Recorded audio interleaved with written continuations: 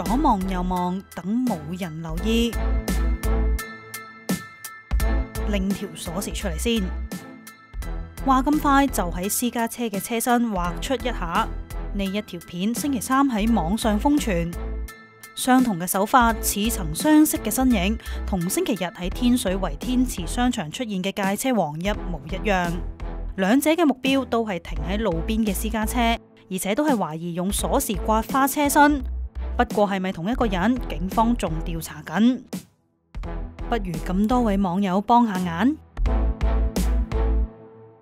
事实上，呢条车 cam 片嘅片主声称片段系喺今年四月喺何文田影到嘅。片主话事件过咗去四个月，警方都仲未拉到戒车嘅人，希望犯人可以尽快落网，保障咁多位马路之友啊！